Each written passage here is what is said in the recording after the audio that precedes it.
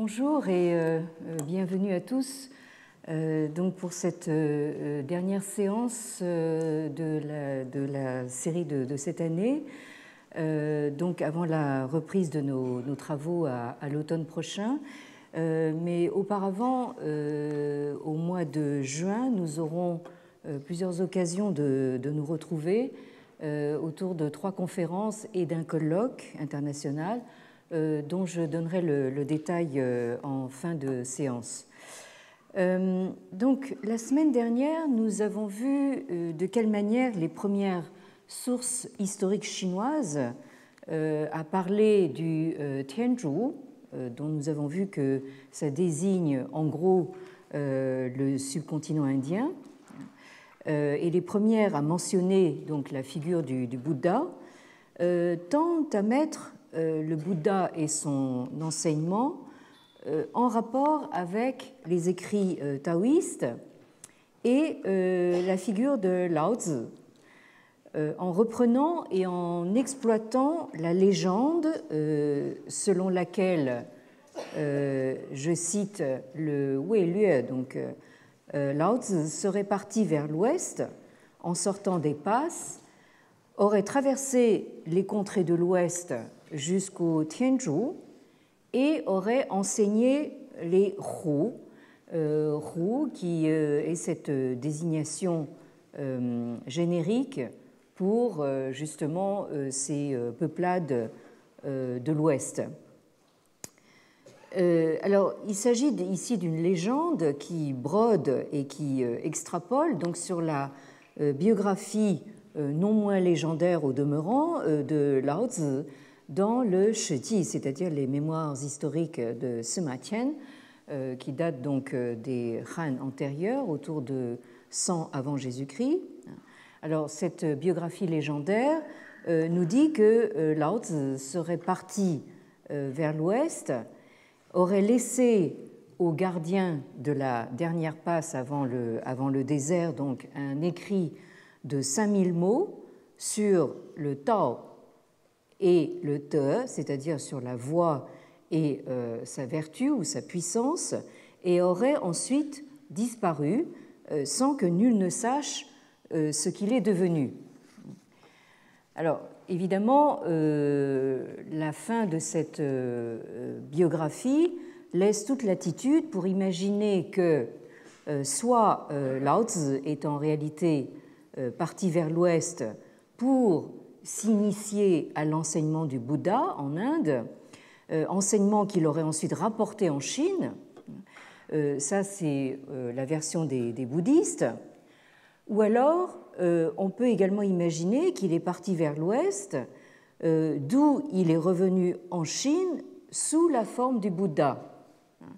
Ou bien, on peut aussi imaginer que le Bouddha n'aurait été au fond qu'un disciple de Lao Tzu, ce qui signifierait en somme euh, que le bouddhisme n'est en fait que le taoïsme revenu de l'Inde. Et ça, c'est évidemment la version des euh, taoïstes, en particulier celle des euh, sectaristes religieux, de mouvements comme celui des turbans jaunes, à la toute fin des Han postérieurs. Hein, c'est Huangjing que vous avez donc en haut de la diapositive. Alors, nous avons vu qu'au-delà de ces euh, tiraillements, euh, on pourrait dire de ces guéguerres et euh, de ces controverses d'ordre idéologique, donc au-delà de ces signes de rivalité entre deux tendances en concurrence pour attirer le maximum d'adeptes, d'une part, et euh, obtenir également le patronage des souverains, d'autre part. Donc, euh, donc la, euh, la, rivalité est vraiment très, très forte.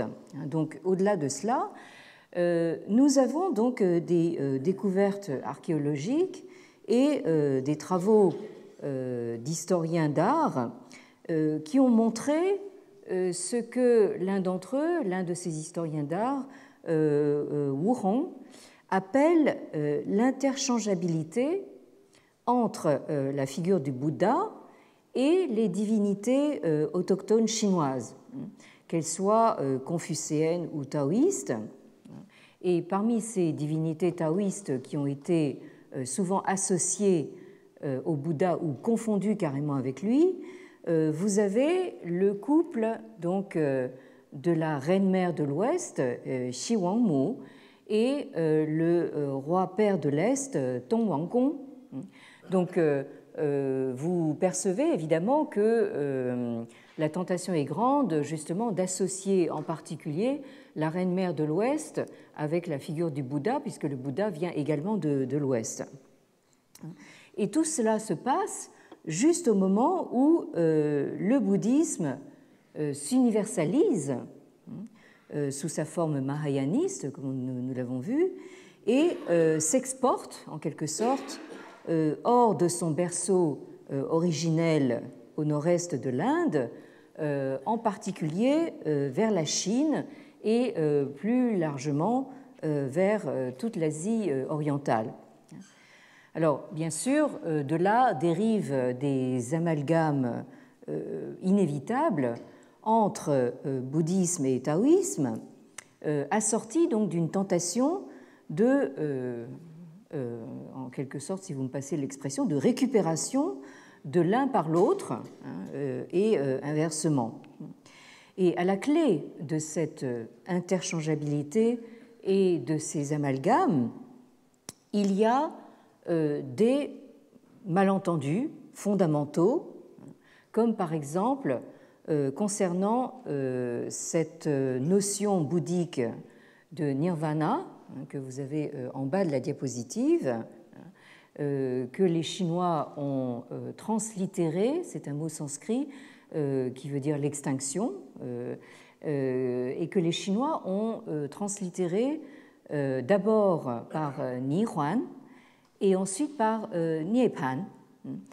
Donc cette notion d'extinction bouddhique a d'abord été comprise à tort en contexte chinois comme étant euh, l'équivalent de l'immortalité taoïste. Hein, vous percevez bien qu'il y a une euh, différence considérable entre la notion euh, justement d'une extinction totale et donc d'une sortie de la roue des existences, du, samsara, hein, et la, notion d'immortalité qui veut dire au contraire euh, que euh, euh, votre être se, perpétue donc indéfiniment.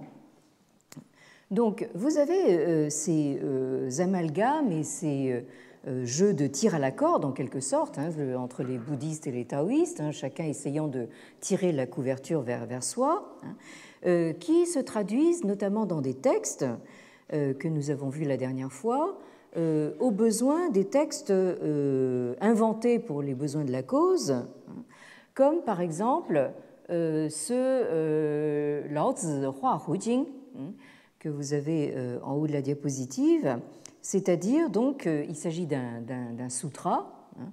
Donc si vous donnez le titre de sutra ou de ting à un texte, ça veut dire que vous le présentez comme un texte sacré qui euh, euh, émane de la parole même du Bouddha. Mais il, s'agit ici d'un faux absolument évident. C'est donc le sutra de la conversion des barbares, hein, les Huahu, par Lao Tzu, hein, qui représente la position des adeptes taoïstes, ou à l'inverse, vous l'avez sur la seconde moitié de la diapositive, donc le Zheng Wu Lun, c'est-à-dire donc le traité pour rectifier euh, les fausses accusations, dont nous avons lu un passage la dernière fois, qui représente euh, la position euh, pro-bouddhiste, hein, qui cherche justement à rectifier les fausses accusations des taoïstes contre le, bouddhisme. Alors toutes ces sources de la fin des Han et du début de la période donc de désunité qui a suivi, hein, en particulier donc de, euh, comment dire, de multiples dynasties qui se sont euh, formées au nord et au sud. Donc toutes ces sources témoignent d'une très grande ambivalence vis-à-vis de ce que l'on entendait dire sur ce royaume de Tianzhu, au-delà des Himalayas, au-delà des montagnes, que l'on qualifiait de céleste, hein, de Tian, tout en continuant à le dire peuplé de Ro, hein, c'est-à-dire donc de ces au fond de ces barbares de l'Ouest, hein, de la même façon que l'enseignement bouddhique suscitait une très grande curiosité, tout en se trouvant récupéré, comme je l'ai dit, comme étant semblable aux sagesses déjà connues dans le monde chinois, voire comme étant un simple avatar hein, de ces sagesses chinoises. Alors, euh, aujourd'hui, je n'ai pas euh, le temps ni l'intention de m'étendre euh, sur ces questions. je peux vous recommander enfin, de très sérieux et fameux ouvrages sur la question.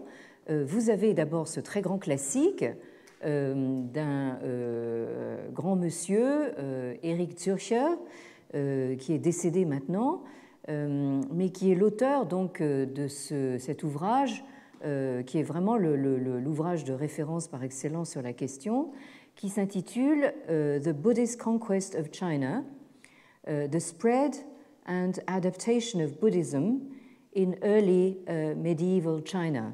Donc là, il a choisi, hein, c'est un titre qui a évidemment suscité pas mal de controverses, donc la conquête bouddhique de la Chine. Donc euh, l'expansion et l'adaptation euh, du bouddhisme dans euh, la Chine du premier Moyen Âge, un ouvrage paru aux éditions Brill de, Leiden, donc en, Hollande, puisque ce monsieur a longtemps enseigné à, l'université de Leyde, étant néerlandais lui-même. Donc la première édition date de 1959 et vous avez ici euh, en diapositive euh, la dernière euh, et troisième réédition en date de 2007. En français, nous avons une traduction d'un autre ouvrage qui apparaît aussi comme un classique désormais, l'ouvrage qui est paru initialement en anglais de Kenneth Chen, C-H-E-N,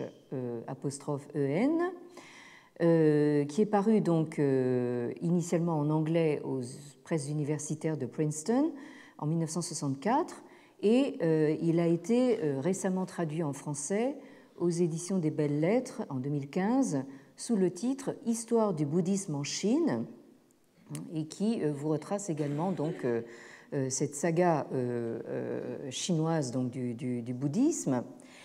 Et Enfin, euh, je voudrais aborder avec vous aujourd'hui un autre texte euh, qui euh, est censé dater donc aussi de cette période assez trouble de la, fin des Han et qui témoigne lui aussi de la complexité et de l'ambivalence du processus de réception du bouddhisme en contexte chinois. Alors, il s'agit du Mozi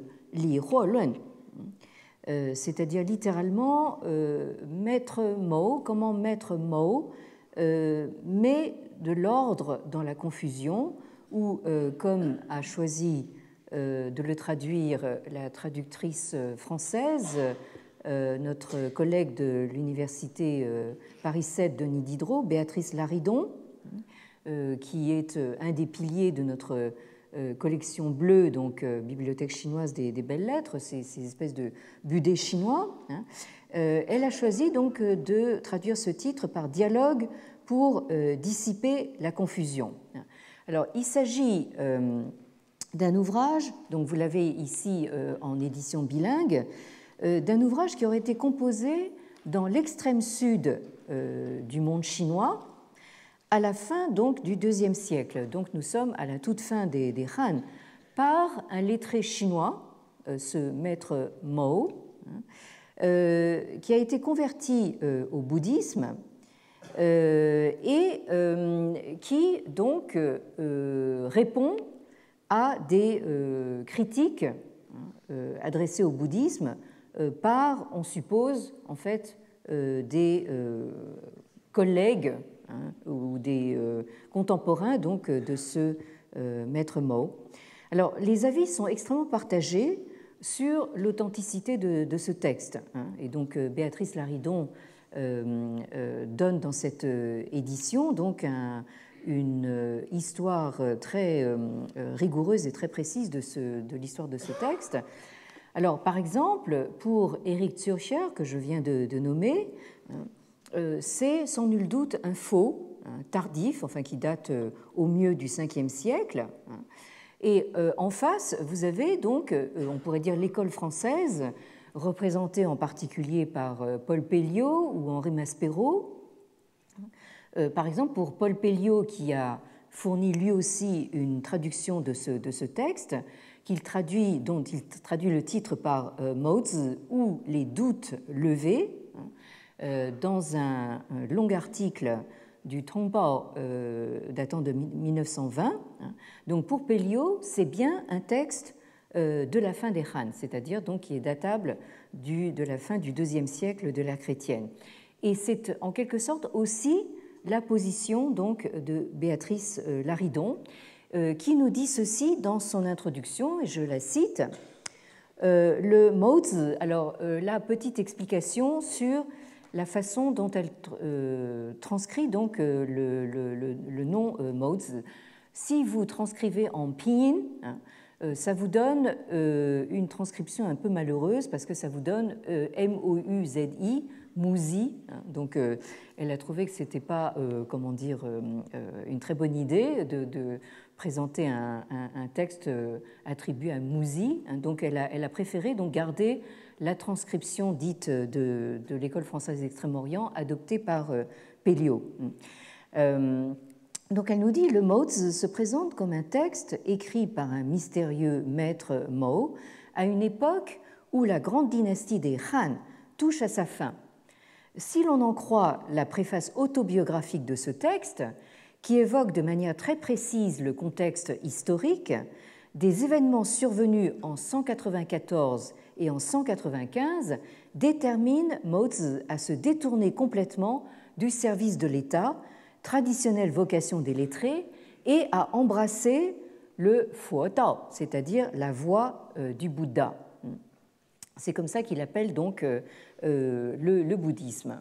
Donc, remarque intéressante, il parle de voie comme si c'était un petit peu une alternative à la voie taoïste.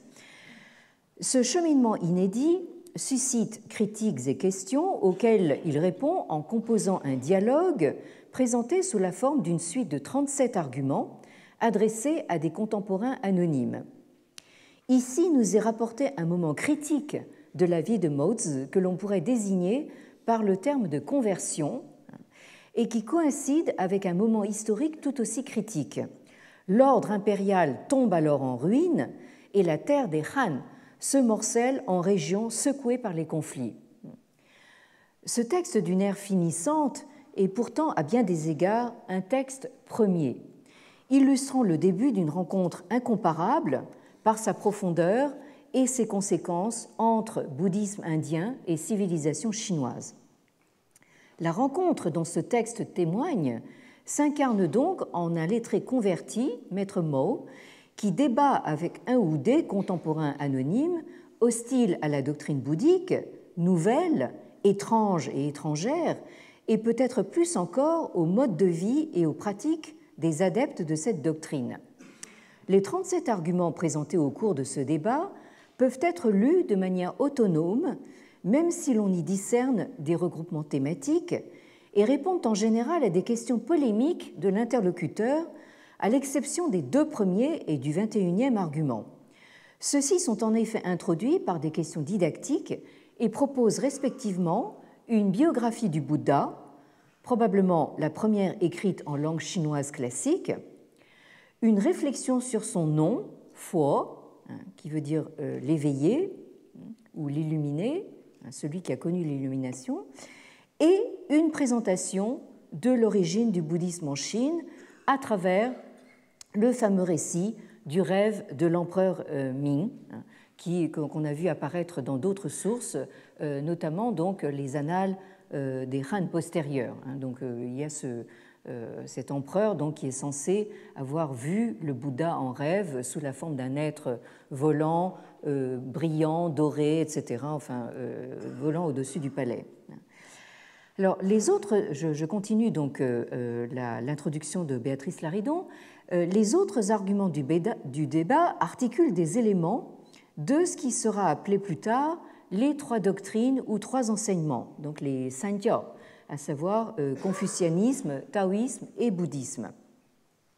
Mozi, en tissant un réseau de références aux textes fondateurs de la science lettrée, y défend non pas tant la vérité de l'enseignement bouddhique que son accord profond avec l'enseignement des classiques et du Lao Tzu, qu'il dépasse mais ne contredit pas.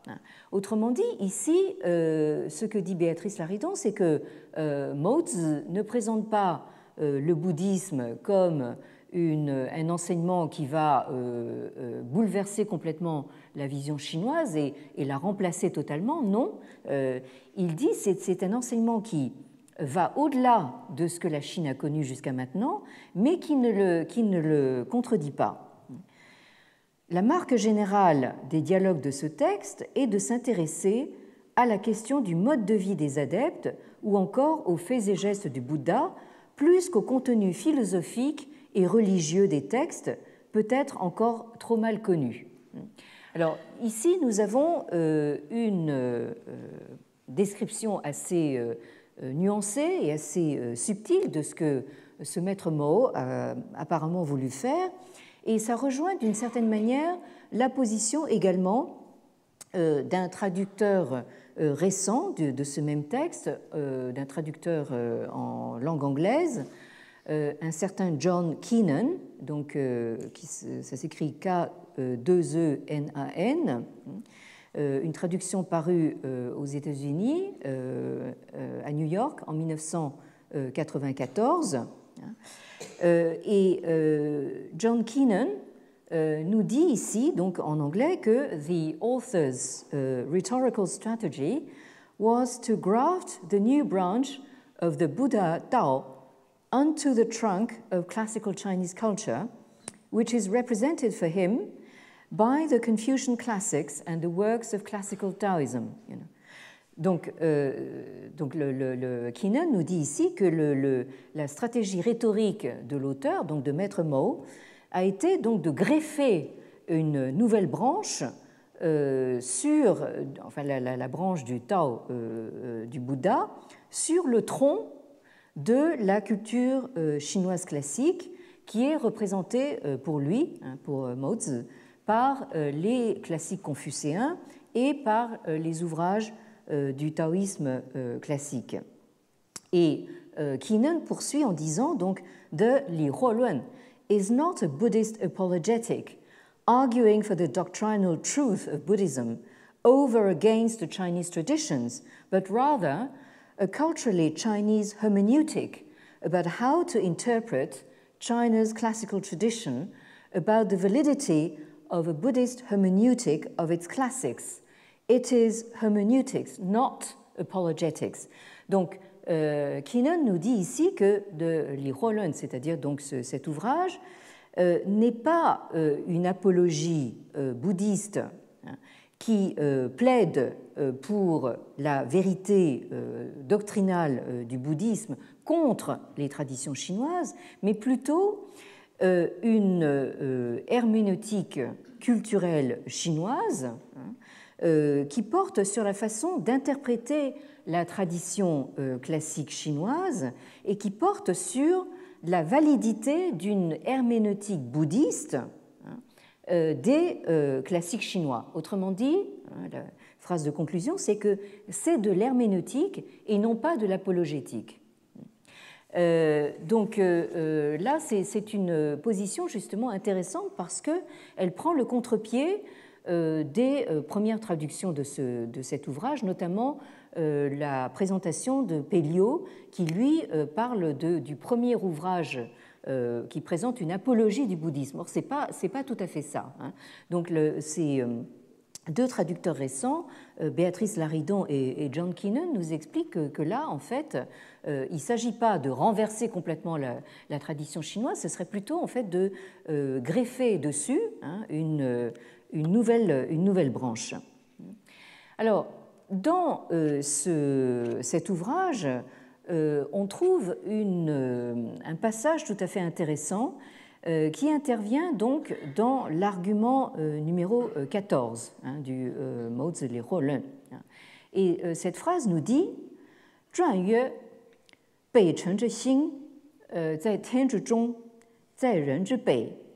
以此观之，汉地未必为呃天中也。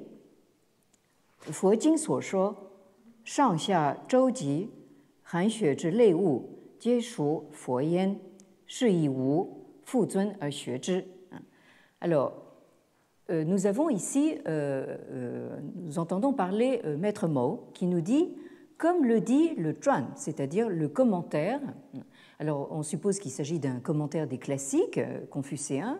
Bon, on n'a pas réussi à retrouver la, citation exacte, hein, mais enfin, ici, il s'agit bien d'une citation d'un commentaire chinois. Hein.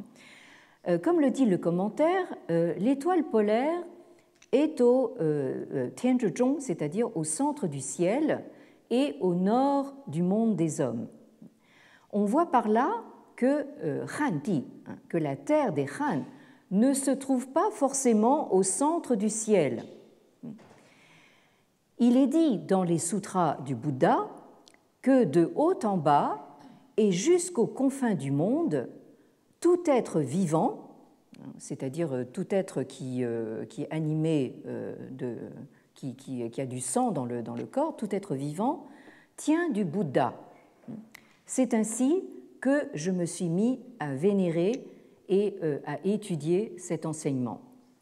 Donc ici, euh, Béatrice Laridon donc, euh, commente ce, passage en nous disant l'universalité de l'enseignement bouddhique. Hein, donc là, nous avons effectivement cette universalité mahayaniste. Hein, sa vision d'un monde où tous les vivants partagent une nature commune, la nature de Bouddha, hein, ce que les Chinois appelleront donc Fuoxing, donc euh, cette universalité, cette vision d'un monde qui, euh, où tous les vivants partagent une nature commune, semble ainsi avoir joué un rôle déterminant pour Mozi, hein, puisqu'il dit que c'est ainsi qu'il s'est mis, euh, qu'il s'est converti en quelque sorte, qu'il s'est mis à vénérer cet enseignement. De manière significative, cette idée est amenée par une nouvelle vision du cosmos, illustrée dans une sentence apparemment extraite d'un commentaire au classique, suggérant que le centre du ciel n'est pas le même que celui du monde des hommes, du moins celui qui est connu et reconnu dans le monde des Han. Euh, et Béatrice Laridon dit ceci, le centre est déplacé et n'apparaît plus comme évident. L'enseignement bouddhique vient ajouter à ce décentrement un étirement du monde moral en l'étendant à tous les êtres vivants. Alors, euh, j'ai voulu donc euh, euh, vous lire cette, phrase parce qu'elle introduit donc mon propos d'aujourd'hui, hein, ce décentrement radical hein, qui est provoqué donc par l'introduction du bouddhisme indien en Chine.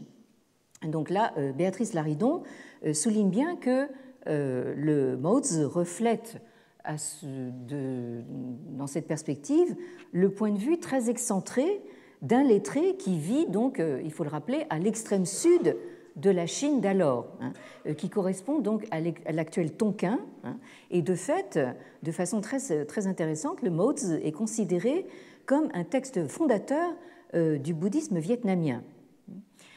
Qui, en sont, enfin, les, bouddhistes vietnamiens en, arrivent même en fait à attribuer à euh, Maître Mo, une mère vietnamienne. Hein. donc, euh, donc là, vous, vous avez euh, cette appropriation donc, par les Vietnamiens donc, de cette tradition. Hein. Alors, pendant ce temps-là, hein, vers la fin des Han et au début de cette période de, de, de, de chaos, de désunité, vous avez une situation totalement différente au nord donc, du monde chinois.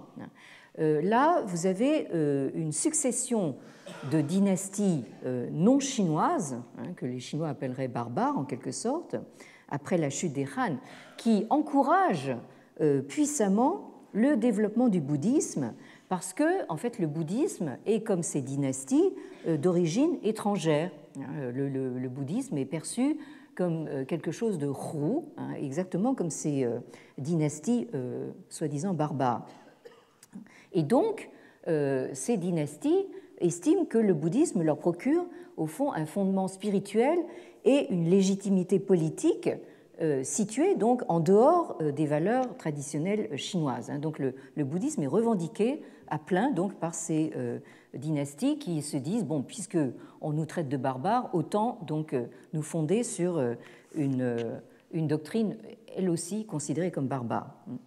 Alors c'est ainsi que en 399 donc nous sommes à la fin du IVe siècle au moment où la dynastie euh, barbares donc, euh, qui, se, qui se nomment en chinois les euh, donc les Qin postérieurs.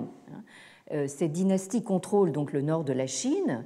Hein. C'est donc en 399 que le moine bouddhiste chinois Fa Xian, qui a vécu aux environs de 337 à 422, ce moine décide de quitter la Chine pour aller en Inde en quête du dharma, en quête de la loi bouddhique, hein, et il inaugure ainsi euh, une très longue euh, tradition de pèlerinage de ces moines euh, chinois vers l'Inde, hein, qui éprouvent ce, besoin irrépressible hein, d'aller en Inde pour aller vraiment aux sources du, bouddhisme, qui, se, disent en, Chine, on n'a pas ce qu'il faut enfin, pour, comment dire, euh, du point de vue, des, sources textuelles, il faut absolument faire tout le voyage euh, qui, euh, Bouddha le sait, hein, est un voyage extrêmement périlleux. Beaucoup y ont laissé la vie d'ailleurs.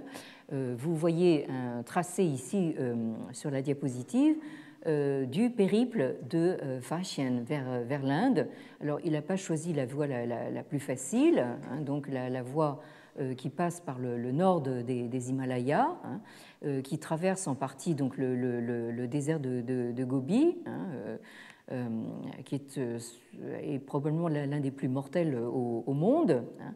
et vous voyez comment donc il fait sa route jusqu'à l'Inde en passant donc par ce qui serait donc le, Pakistan actuel, vers le, au nord de l'Inde, et il arrive donc dans la plaine du euh, du Gange, le, pays du, Bouddha, et il poursuit sa route vers euh, Sri Lanka, donc le, Ceylan, hein, et ensuite il rentre par la route euh, maritime l'Asie du Sud-Est pour regagner donc le monde chinois. Et donc à son retour en 414, Fa Xian entreprend donc de traduire les textes qu'il a rapportés hein, d'Inde et qui concernent principalement euh, les règles de la vie monastique, c'est-à-dire donc cette ce fameux corpus de, textes qu'on appelle en sanskrit le, Vinaya, hein, c'est-à-dire donc euh, la, discipline bouddhique. Alors, le récit de son euh, périple se trouve dans un ouvrage qui s'intitule le Fo Guoji, hein, c'est-à-dire donc mémoire sur les pays bouddhiques. Alors, vous avez ici sur la diapositive la couverture euh, euh, bleue, hein, que vous connaissez bien maintenant, euh, puisque nous avons la chance d'avoir une excellente traduction en français. donc, vous avez dans ce volume la présentation bilingue, donc vous avez l'original chinois et la traduction annotée en français en vis-à-vis, selon le principe des budets.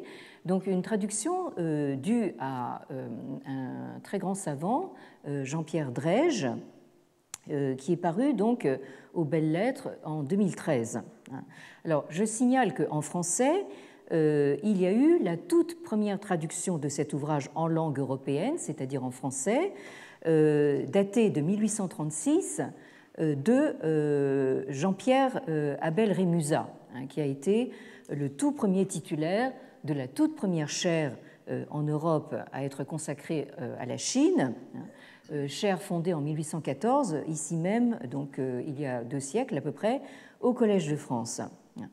Alors, le début donc de ce euh, mémoire nous dit ceci.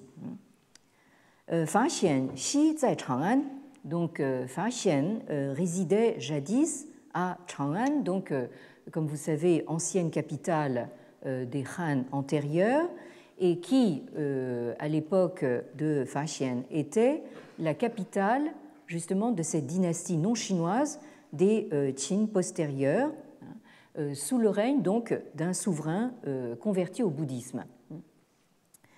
Donc probablement c'est ce souverain qui a patronné en quelque sorte donc l'expédition de Fashion vers l'Inde.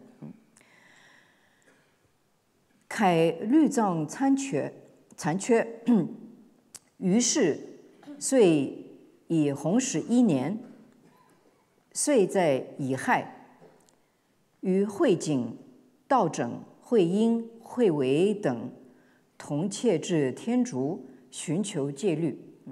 Alors donc, Fachen déplorait les lacunes, les manques.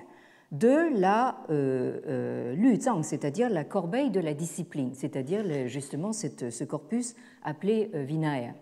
Donc on comprend bien qu'en tant que moine, euh, euh, avait une priorité justement pour ces textes concernant les règles de la, de la vie monastique. Alors je rappelle euh, ce que j'ai indiqué la dernière fois, c'est que le canon bouddhique euh, est traditionnellement constitué de trois euh, corbeilles, ce qu'on appelle euh, en sanskrit les Tripitaka hein, ou les Sanzang en chinois.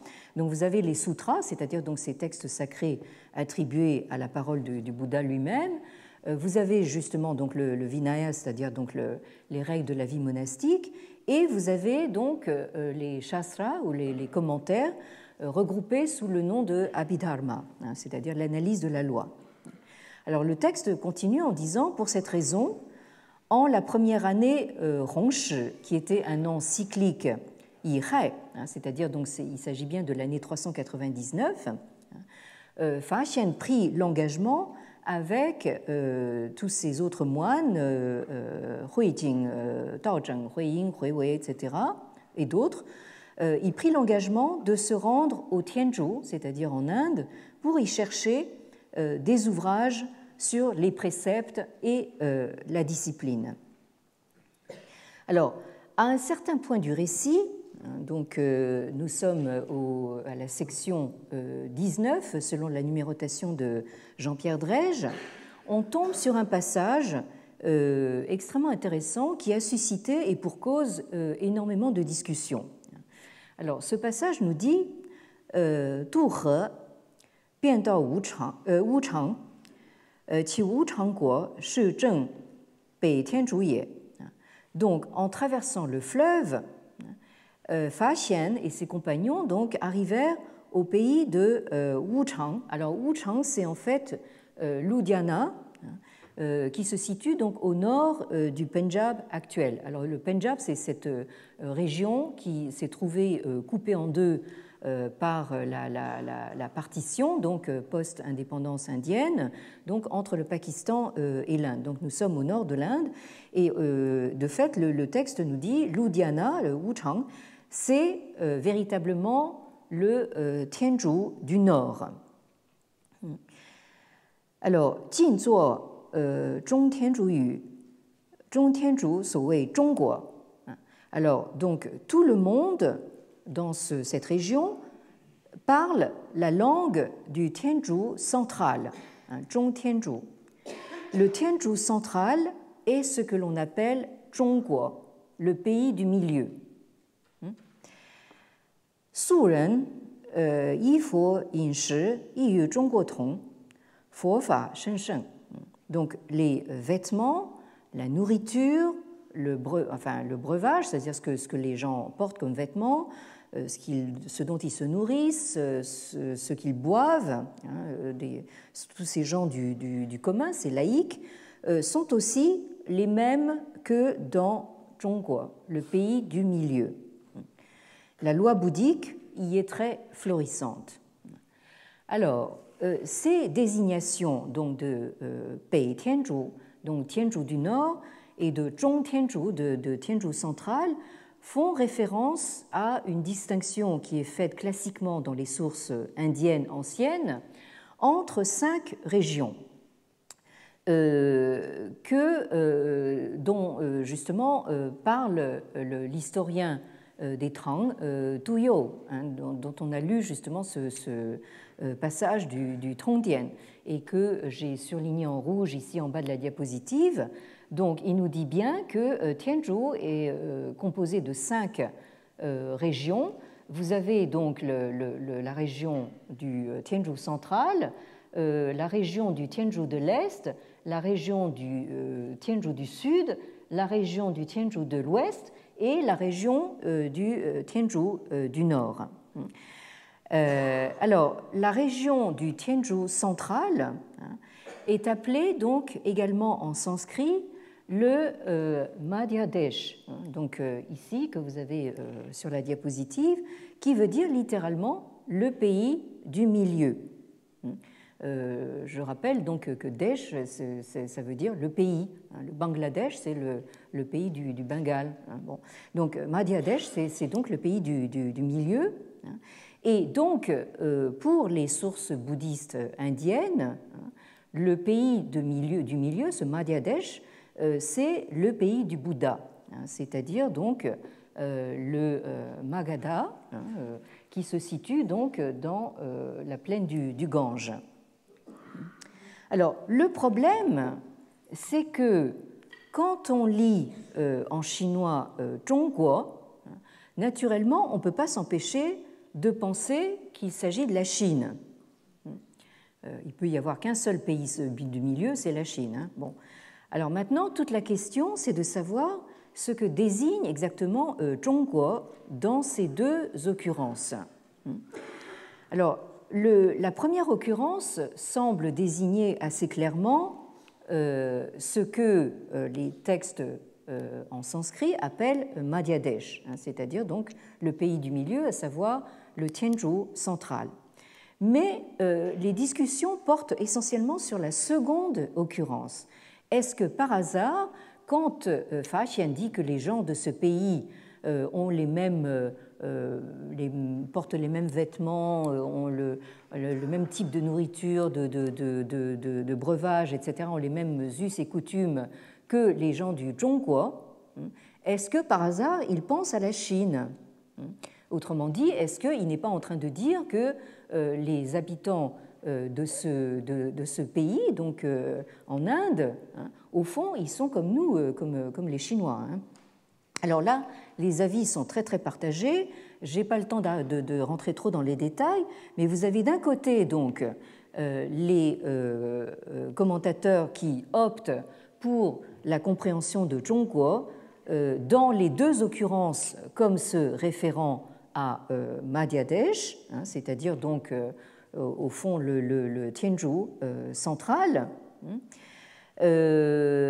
alors que vous en avez d'autres Hein, euh, en face, euh, qui sont donc de euh, l'avis opposé et qui pensent que, au moins dans la deuxième occurrence, ça veut bien dire donc que ces gens de, de, l'Inde ont les mêmes mœurs que ceux de la Chine.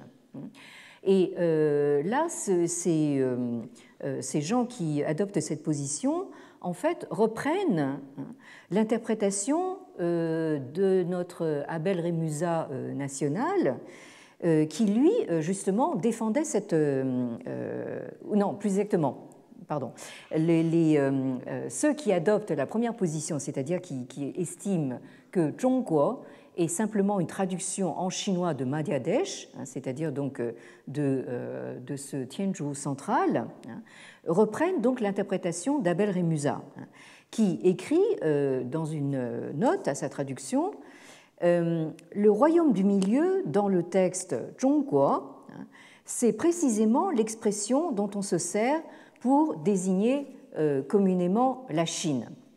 Mais il faut prendre garde dans les relations bouddhiques, hein, comme c'est le cas ici, à ne pas confondre les passages qui se rapportent à la Chine avec ceux qui sont relatifs aux contrées de Mathura et de Magadha, et autres royaumes situés dans l'Inde centrale. Cette confusion ne peut avoir lieu dans le livre de Fa Xian, qui, en parlant de son pays natal, le désigne toujours par les noms de dynasties, hein, donc, euh, et il cite euh, Han, Qin, etc. Et de fait, si vous prenez justement les passages auxquels fait allusion Abel Rémusat, hein, vous vous apercevez que chaque fois que ces moines bouddhistes qui sont en, goguette, donc en Inde, hein, chaque fois qu'ils se présentent, hein, premièrement, il y a une expression récurrente. Ils viennent, ils disent qu'ils viennent de euh, PNT, PNT, c'est-à-dire de, de, euh, de euh, régions, comment dire, marginales, sur les marges. Donc là, vous voyez bien que pour eux, l'Inde, c'est le pays central, c'est Zhongguo. alors que eux estiment qu'ils arrivent de l'extérieur, ils arrivent de ces zones marginales, et tantôt donc ils euh, se désignent comme des euh, euh, Qin hein, c'est-à-dire donc des, hommes de, la voix, autrement dit des moines, hein, mais de Qin. Alors Qin, ça peut être donc une allusion au nom de la première dynastie fondatrice de l'empire centralisé chinois, comme vous savez, hein, mais ça peut être aussi en fait une référence à ces Qin postérieurs d'où venait précisément Fa Xian. Dans un autre passage, hein, euh, vous avez aussi cette, expression de pienti euh, qui revient ici. Hein, euh, donc, nous sommes des, gens de l'extérieur, hein, des marges, et ils répondent à, leurs collègues moines indiens qui leur demandent vous venez, vous venez d'où Vous venez de quel pays? Et, donc les, euh, les, moines chinois répondent c'est-à-dire nous venons euh, du pays euh, des, Han. Donc là aussi, référence au, nom d'une dynastie. Et puis vous avez donc ce troisième passage hein, où donc, il est dit que, et là je, pense que ça vaut la peine de, traduire ce passage hein, en reprenant la traduction de Jean-Pierre Drège. Donc, euh, il s'agit du moine euh, Tao Zheng, un Tao Zheng, euh, qui fait partie donc de, la, petite troupe de, moines chinois qui est parti donc de, Chang'an avec Fa Xian.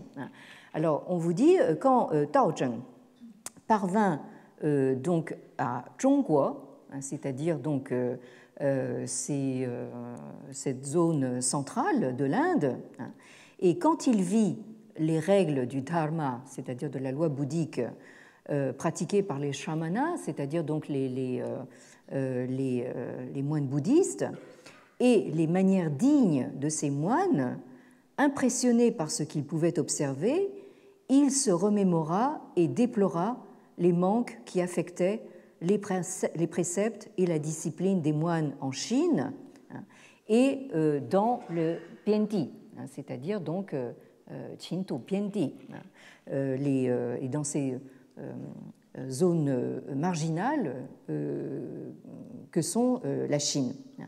Et il fit le serment, désormais, jusqu'à ce que je devienne Bouddha, je fais le vœu de ne pas renaître dans un Pienti, c'est-à-dire dans un, un pays marginal, c'est-à-dire de renaître en Chine.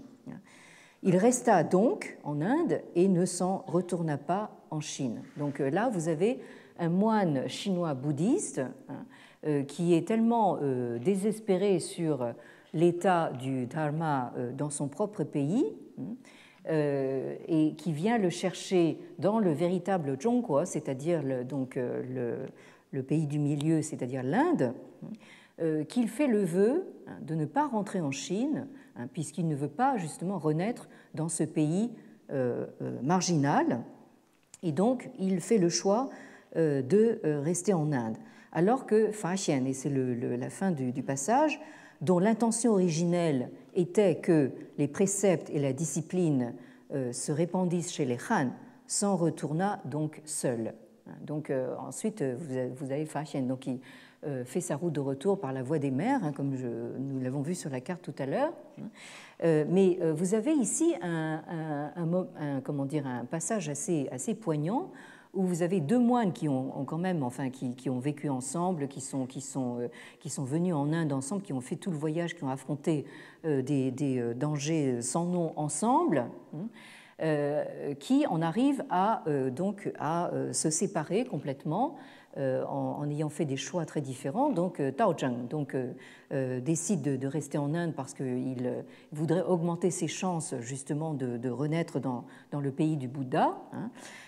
alors que Fa Xian décide de rentrer en Chine non pas par comment dire euh, euh, comment dire, nostalgie du, du, pays, hein, par, euh, mal du pays, hein, mais parce que en fait, se rappelle l'objectif de la mission qui s'était fixée, c'est-à-dire de rapporter en Chine donc les, sources mêmes enfin, du, bouddhisme indien et notamment ses règles monastiques. Et c'est donc en fait ce euh, phénomène justement de, ce que Béatrice Laridon appelait tout à l'heure un décentrement. Hein, là, vous voyez qu'on peut, difficilement faire euh, plus, radical. Hein, euh, donc, on a vu à travers justement ce, récit de, de que Zhongguo, hein, décidément, c'est devenu l'Inde.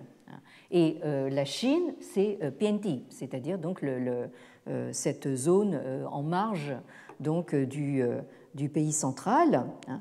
Et euh, c'est ce qui a amené donc euh, un chercheur euh, italien, qui n'est plus de, ce monde hélas, Antonino Forte, a parlé de borderland complex, hein, c'est-à-dire donc d'un complexe des marges. Hein. Les, Chinois sont, les bouddhistes chinois se sentent véritablement en fait en quelque sorte en dehors du coup. donc et c'est pour ça qu'ils éprouvent le besoin euh, de faire tout le voyage jusqu'en Inde, et ce sera donc le cas euh, ultérieurement pour le très fameux moine euh, Xuanzang, donc, qui a fait le voyage au début du 7e siècle. Là, vous voyez donc son périple. Hein, donc, il, lui, en fait, n'a pas emprunté la, voie maritime. Il est passé par, il a contourné le désert par le nord euh, euh, à, l'allée et il est rentré par euh, le, sud du désert, mais toujours par la voie terrestre au retour. Donc Xuanzang, c'est évidemment le moine pèlerin si fameux qui a, donné lieu justement à toute cette littérature fantastique, à ce récit donc de la pérégrination vers l'ouest, bien plus tardif, hein, qui a donné lieu à toutes sortes de, de, de euh, euh, euh, etc. Et puis, un peu plus tard, hein, à la fin du 7e siècle, vous avez également ce moine bouddhiste Yi Jing, qui, lui, en fait, a choisi de passer par la voie de mer à l'aller comme, comme au retour. Bien. Et donc, euh, d'une certaine façon, et je conclurai là-dessus, donc, euh, nous, cette année, nous avons vu un petit peu comment, euh, au fond, les Chinois abordaient cette question de, l'autre. Hein. donc, nous avons vu qu'il y a chez eux, effectivement, au départ, une, une, sorte de rejet, justement, de tout, ce qu'il y a aux marges. Hein. Justement tous ces, tous ces barbares qui, entourent le, le, monde chinois civilisé. Hein. Euh, donc on a vu qu'en réalité, euh, des négociations, des tractations incessantes ont lieu même avec ces barbares de, de, Xiongnu, ces, nomades du, euh, du, nord et de, l'ouest. Hein. Mais nous avons vu que petit à petit, le monde Han découvre qu'au-delà de cette ceinture, en quelque sorte rapprochée des peuplades nomades, hein, il y a justement un, monde ouvert où potentiellement il y aurait peut-être d'autres centres de civilisation. Hein. Donc nous avons évoqué euh, Taqin, l'Empire romain. Hein. Euh, comme le faisait remarquer un auditeur, euh, curieusement, en fait, les, Chinois ne semblent pas en fait avoir eu conscience d'un monde grec. Mais pour eux, vraiment l'autre grand centre de civilisation, surtout avec l'arrivée du bouddhisme, c'est véritablement l'Inde. Euh, et donc, euh, je crois que actuellement, nous savons que, les relations entre, entre l'Inde et la Chine sont évidemment plutôt tendues, hein.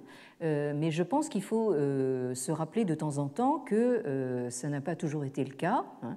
Alors là, on parle évidemment de périodes très anciennes, on peut dire oui, enfin tout ça c'est de la préhistoire, mais il faut quand même rappeler que il y a encore quelques décennies, donc euh, l'Inde et la Chine étaient, encore, euh, marchaient encore main dans la main. Hein. donc euh, pourquoi ne pas se prendre à rêver justement d'une nouvelle alliance Chine-Inde Parce que je suis moi-même persuadée que la Chine a beaucoup à apprendre de, de l'Inde. Bien. je terminerai là-dessus avec une image de notre, je ne sais pas si je l'ai ici, non. Euh, voyons voir. Non, non, bien.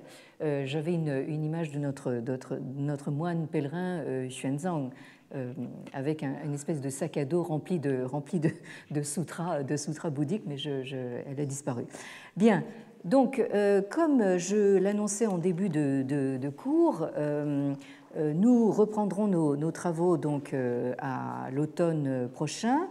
Euh, mais en attendant, donc, nous aurons l'occasion de nous retrouver, si vous le voulez bien, au mois de juin, avec donc plusieurs conférences en français. Alors, une conférence en français du professeur Chu Xiaoquan, donc de l'université Fudan de, de, Shanghai, qui est parfaitement francophone, et qui va nous parler le jeudi 7 juin à 14h30 euh, de mai 68 vue de Chine. Ça promet euh, d'être euh, assez intéressant. Et nous aurons également deux conférences, également en français, du professeur Watanabe Hiroshi, donc de l'Université de Tokyo, les lundis 4 et vendredi 8 juin. Donc la première euh, est intitulée euh, Structure du genre et sexualité dans le Japon de Tokugawa et la seconde euh, portera sur Tocqueville et les trois révolutions, donc France 1789, Japon 1867, Chine 1911. donc les, les, lundi 4 et vendredi 8 juin à 14h30 et euh, les euh, jeudis 21 et vendredi 22 juin, euh, toute la journée, nous aurons un gros colloque international sur le traité des rites, hein, dont je vous ai assez rebattu les oreilles. Nous aurons donc des, collègues venant d'Europe, d'Asie, des États-Unis, avec une dimension fortement comparatiste, comprenant donc des, collègues, y compris du Collège de France, spécialistes du Japon, euh, de la Corée, mais aussi euh, de l'Inde, euh, de la Grèce ancienne et de la Rome antique. Donc, à tous ces événements, vous êtes naturellement les, bienvenus et vous pourrez suivre en temps réel donc les informations et les précisions sur le site du Collège de France.